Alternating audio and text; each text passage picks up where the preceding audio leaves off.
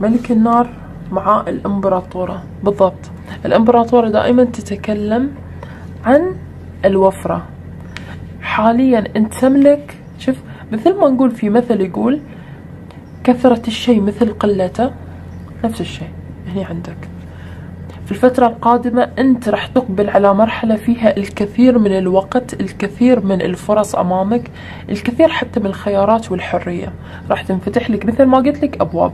هذا الشيء أحرص أن تستغله في مكانه. لا تستغله في طاقة ندم لا تستغله في طاقة ماذا لو أوكي؟ وأيضا خلي هني مشاريعك دقيقة هذا الملك دقيق. يعرف وإن كان اللي عنده واللي أمامه الكثير من الفرص الكثير من العروض يعرف شلون ينتقي لنفسه الأفضل. أو يختار الأفضل يختار نجاحاته. يختار مشاريعه. هذا الملك هو مثل ما نسميه مدير مشروع. يعرف يعرف شلون يختار أي مشروع ومتى يختاره ومتى يبتدي فيه ومتى ينتهي فيه أو ينتهي منه بنجاح. أوكي خلنا نوضح الشمس.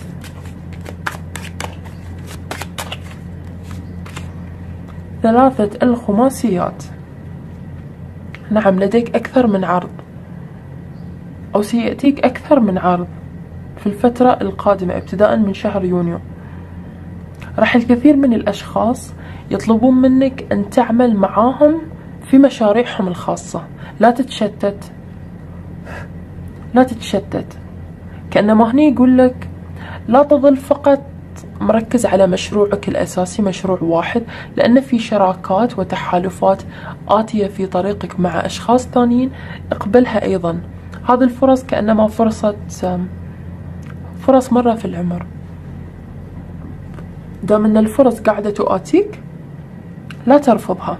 هذا هو وقت الفرص. وقت أن تأخذ كل ما تستطيع أن تحمله. وخل تركيزك نعم في عملك الحالي. كأنما هني قاعد أشوف عندك تخوف أنك ستش... راح تتشتت يعني. أو ما راح تقدر تركز على وظيفتك ومشروعك اللي الحين أمامك. أو حتى دراستك لما تنوع أو تأخذ مسؤوليات زيادة وهذا الكلام غير صحيح. التحالفات والشراكات القادمة في طريقك راح بالعكس تكون تساعدك تساعدك. راح الخماسيات هي طاقة مو فقط الأموال اللي راح تأتيك تتضاعف ولكن أيضا الخبرات اللي عندك تتضاعف. الأمور اللي تقدر تحطها في السيرة الذاتية عندك راح تكون أفضل وأغنى. راح تساهم. خلينا نوضح ثمانية الأكواب.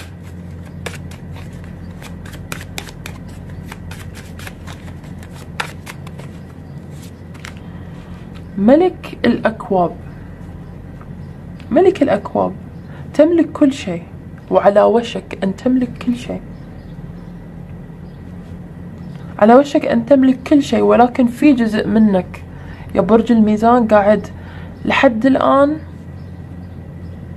أوكي في استثمارات استثمرت لفترة طويلة في تخصص معين أو في مشروع معين في وظيفة معينة استثمرت الكثير خايف أن ترحل اللي مطلوب منك أن ترحل أن ترحل إذا ظليت على الثمانية ما راح تصل إلى الكوب التاسع والعاشر. لازم ترحل. هذا هذا الكرت دائما يقول إحنا محتاجين للرحيل عشان نوجد. في مكان ثاني تسع الأكواب وعشر الأكواب. إذا بقينا على نفس الحال ما راح نحصل على كل مبتغانا. نعم عندك هني أنا قاعدة أتكلم مع برج ميزان يريد أن الأمور تبقى على حالها وخايف شوية من التغيير. خايف من الفرص الكثيرة الأبواب اللي انفتحت له أمامه مرة واحدة بين يوم وليلة. صار عليه طلب صار مهم صار آه يطلبون رأيه يطلبون نصائحه في مكان العمل. لا تخاف. أنت في المكان الصحيح أوكي؟ وإذا في عندك مشاريع معينة ما اكتملت في السابق مش معناته أن هاي المشاريع القادمة الجديدة في طريقك ما راح تعطيك النتيجة اللي ترغب فيها لأن راح تعطيك. خلنا نوضح فارس الأكواب. إحنا قاعدين هنا ننظر إلى الطاقة المستقبلية طاقة ملك الأكواب. زين الملك المستقر. السعيد الراضي المكتفي. ولكن هني اللي محتاجها أنت أن تبتدي التغيير بنفسك. توك فارس الأكواب أو على وشك أن تصبح في البداية فارس الأكواب. تنغمس في مهمتك في عملك في الشراكات والعروض اللي آتية في طريقك. وأيضا ممكن تكون أن تقيمها. تقيم كل مشروع وكل شراكة قادمة في طريقك وعرض حتى قبل أن تدخل فيه. عشرة الخماسيات. نعم أحس أن أنت هني آه، برج الميزان. عشر الخماسيات تعني لي أنك وصلت إلى نضوج بخصوص مشروع معين. انتهيت منه. وإن كان المشروع ما اكتمل احتمال إنه خسر احتمال إنه ما عطاك الربح اللي تتوقعه. احتمال إنك دخلت تخصص وما لقيت فيه نفسك ما حصلت على النتائج اللي تتوقعها. هذا الشيء نضج. هذا الشيء نضج لأن هني العشرة هي طاقة النضوج. فوق العشرة الفارس الفرسان هم طاقة التغيير. حان الوقت أن أنت فعلا ترتحل ولكن ما ترحل على أساس أنك خسرت. ترحل من أجل أن تلاقي في طريقك الفرص الجديدة. فهمت قصدي؟ لأن وأنت قاعد في هاي الوضع تندب إيش كثر إنت استثمرت في مشروع معين أو استثمرت في وظيفة معينة الكثير من السنوات احتمال عشر سنوات. أوكي؟ وقت طويل وجهد طويل قاعد استثمرت فيه. إنت هنا قاعد ملاقي صعوبة انت تتخلى عن شيء وايد كلفك يوم من الأيام ولكن اللي لازم تفهمه إنه وصل إلى مرحلة النضوج. مش مكتوب له أن يصل إلى مرحلة أعمق من هذه المرحلة أوكي؟ خلينا نوضح خمس الخماسيات مع عشر الأكواب طاقة المقارنة هني مع طاقة تقولك بالعكس أنت حاليا قاعد تقارن نفسك بالآخرين ولكن اللي ما تدركه أن الآخرين هم اللي يقارنون نفسهم بك. فيك شيء يجذب الآخرين؟ الاكتفاء. عندك نوع من القناعة. عندك نوع من الهدوء والطمأنينة. هذا الشيء حافظ عليه لأنه جدا قاعد الآخرين حتى يحسدونك عليه. وإن كانوا هم وصلوا إلى مكان أفضل ومناصب عليا ومناصب أعلى منك وشهادات أقوى منك لكن هم وحتى ذهبوا وسافروا إلى دولة ثانية من أجل الدراسة والعمل ينظرون لك أنت أن أنت تملك كل شيء تملك الراحة والطمأنينة. سعيد ومكتفي. وهذا الشيء لا يمكن شراءه بالماي خلنا نوضح. هذا الكرت اللي انقلب عندي. أربعة الأكواب. في شيء في عرض عرض انت رفضته في السابق. ممكن يكون عرض زواج. ممكن يكون عرض شراكة عرض عمل. انت رفضته في السابق. وإن كنت أو هذه حتى ممكن النصيحة لك وإن كنت محتاج للأموال ولكن أعرف أنك راح تختار الخيار الأفضل من أجل نفسك.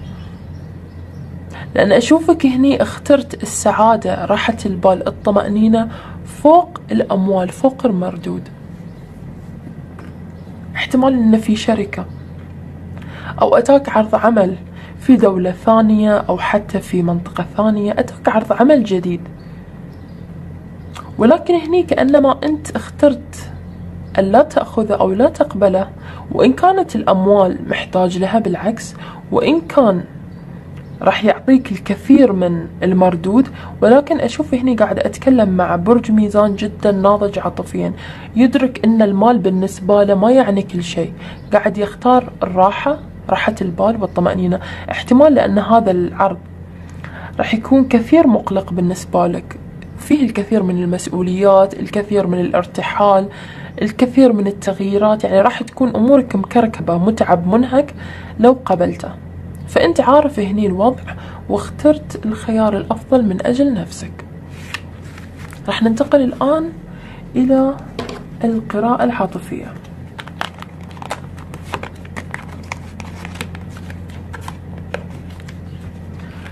الإمبراطورة هي طاقتك أنت أيضا يا برج الميزان.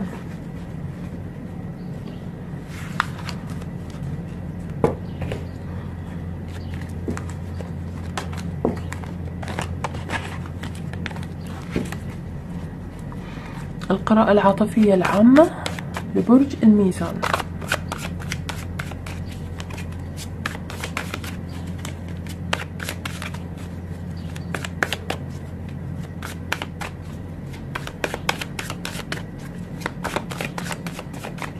أول كرت.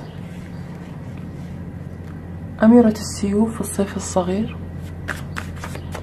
ثاني كرت. ثلاثة السيوف.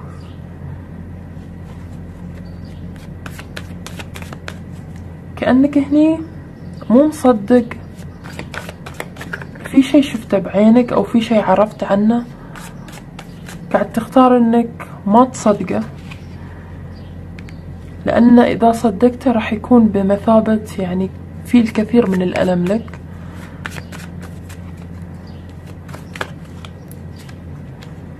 خمسة السيوف. أوكي في أحد خدعك. تحس إنه في أحد خدعك ولكن في نفس الوقت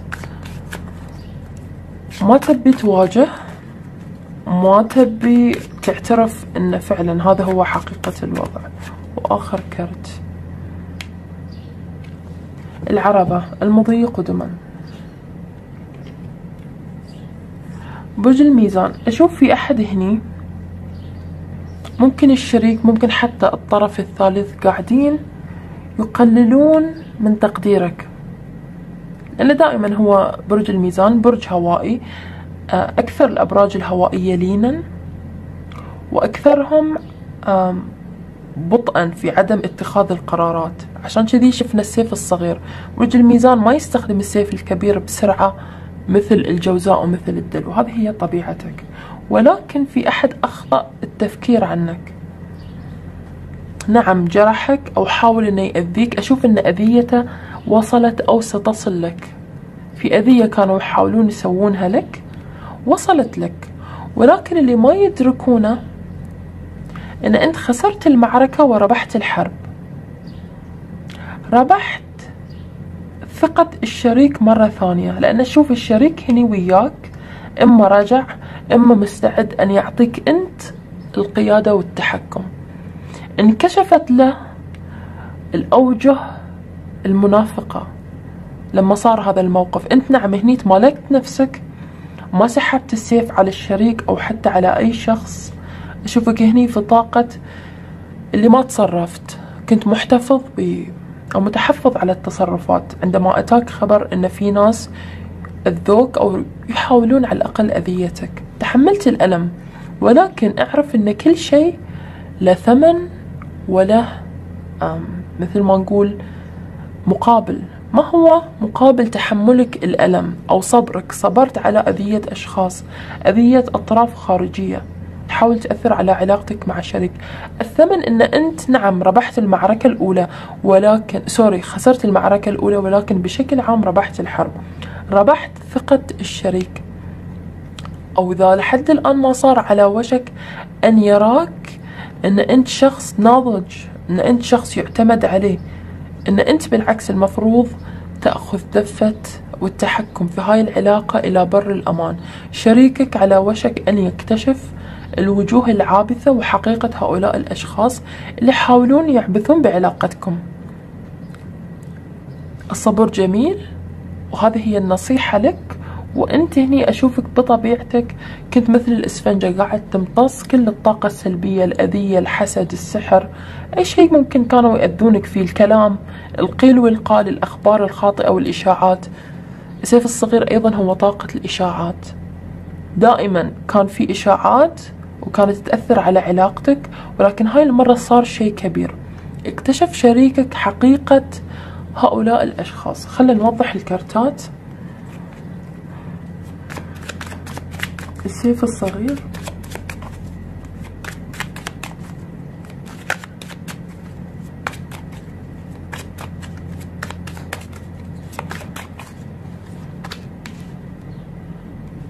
ملك النار. احتمال إنك تتعامل مع شخص عندنا هني برج السرطان الأبراج المائية العقرب أيضا من الحوت واحتمال إنك تتعامل مع شخص من الأبراج النارية حمل أسد وقوس. بعد أشوفه ممكن احتمال كبير إنه يكون أسد أو قوس. أوكي تصرفك ذكي أو التصرف الذكي لك هني إنه ما تقوم بأي ردة فعل. ليش؟ لأن لما أنت ما تظهر ردة فعل راح تفسح المجال لشريكك أنه هو يتحكم بالموضوع. هو راح يضطر أن يواجه هؤلاء الأشخاص للمرة الأخيرة ويوقفهم عند حدهم. خلينا نوضح ثلاثة السيوف الإمبراطور. لم تحرك ساكنا. لم تحرك ساكنا. كأنما أنت كنت شايف كل المسرحية. في مسرحية هني عارف من اللي راح يسويها عارف من اللي راح يخرجها عارف من اللي أنتجها وعارف من اللي راح يلعب فيها. كنت عارف أنت الأبراج الهوائية هي أبراج العقل والذكاء فاهم هؤلاء الأشخاص. ولكن خليتهم يقومون بمسرحيتهم أمام الجمهور. الجمهور كان شريكك وأنت عشان تأكد له تأكد له حقيقتهم. وإذا كان لحد الآن هذا الشيء ما صار فهذا بمثابة الكشف لك أنه راح تمر بهاي الأمور. فأحرص أنك ما تحرك ساكنا عشان شريكك يشوف. ما يحس أن أنت مأثر على نظرته ورؤيته لهي الأشخاص عشان يحس أنه فعلا هو يراهم على حقيقتهم. أوكي؟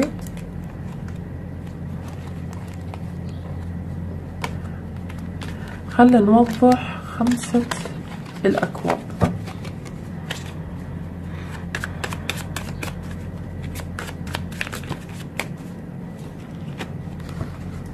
خمسة الأكواب ممكن يكون زعل أو مشكلة صارت بينك وبين الشريك. نعم. لأن الشريك أنت هني أشوفك قاعد تتأذى والشريك مشغول عنك. مشغول عنك. ولكنك صبرت وتحملت. أو أيضا النصيحة لك أن تصبر وتتحمل لأن ما هي إلا فترة وتعدي. لمتى هذا الشخص راح يظل مشغول؟ لمتى راح يظل يعمل على الخماسيات ومركز في عمله أو مركز في أشياء ثانية؟ راح يضطر في النهاية أن يواجه الواقع. نوضح خمسة السيوف. الخيارات. أشوفك هني أنت اللي واقف بين مفترق طرق. هل أواجه هؤلاء الأشخاص لوحدي؟ لأن أنا دائما كنت أواجههم لوحدي وأقول للشريك ترى هاي الناس يحاولون يسوون يسوون أحاول أخليه يشوفهم على حقيقتهم ما في فايدة خل أتبع أسلوب جديد. اسمه أسلوب ما أحرك ساكنا. أحرك ساكنا أخليه هو اللي يضطر يتعامل مع هؤلاء الأشخاص. وآخر كرت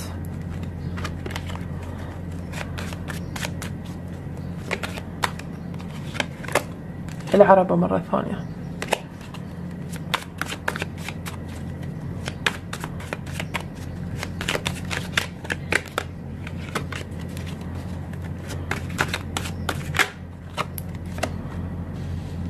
نعم. تتركون هذين الأشخاص كأنما هم مجموعة لأن عندنا هنا رقم خمسة. هؤلاء هني بعد خمسة. هؤلاء الأشخاص المستقبل ينتظركم إن نعم مثل ما قلت لك الشريك راح يكتشفهم على حقيقتهم راح يتركون لوحدهم راح يرحل عنهم. إذا كان هو في شراكة أخرى راح يبتعد عنهم ويكون بجوارك أنت في الفترة القادمة. راح يبتعد عنهم احتمال هني حتى انتقال. عندنا كرت الانتقال. راح يختار انه يسكن مثلا لو كنتوا ساكنين مع أهله راح يختار أن يسكن بعيدا أو أن يبتعد أو يخرجهم حتى من التدخل في شؤونه. ممكن يكون ابتعاد جسدي ابتعاد نفسي ابتعاد عاطفي أي نوع من الابتعادات.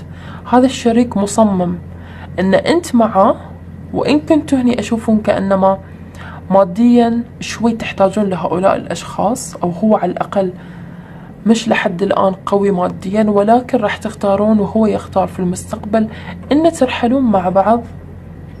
تواجهون واقع وإن كان في شوية أموال أقل ولكن أفضل بالنسبة لكم من أن تظلون تعيشون في محيطكم هني مثل الذئاب اللي دائما يحفرون لكم. آخر شيء برج الميزان. راح نلقي نظرة على الأخبار القادمة بطريقك في هذا الشهر. ممكن تكون قدمت على وظيفة معينة جامعة. عندك عندك طلب من أجل تأشيرة فحوص من أجل الحمل أي نوع من الطلبات والأخبار.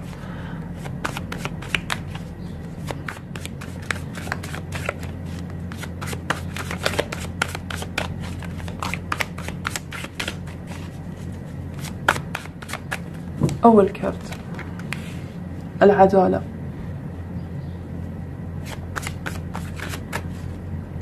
احتمال إنك تتعامل مع شيء. هذا هو كرتك طبعا يا برج الميزان. تتعامل مع شيء في في ال ال القضاء. تحاول أن تحصل على حضانة. أشوف هني كأنما زواج انتهى. وتحاول أن تحصل على حقوقك. في عقد عقد عمل عقد زواج عقد شراكة. انتهى وقاعد تحاول تحصل على حقوقك. ولكن أنت حزين أنت حزين بسبب انتهاء العقد. أوكي أحس ان في أحد قاعد يشجعك أن تذهب إلى المحكمة تقدم طلبك تحاول أن تحصل على حقوقك المادية ولكن أنت هني قاعدة أشوف كأنما منهك تعبان ما تبي تقدم لأنك حزين على انتهاء الشراكة. ترغب في تجديد مرحلة قديمة عندك عقد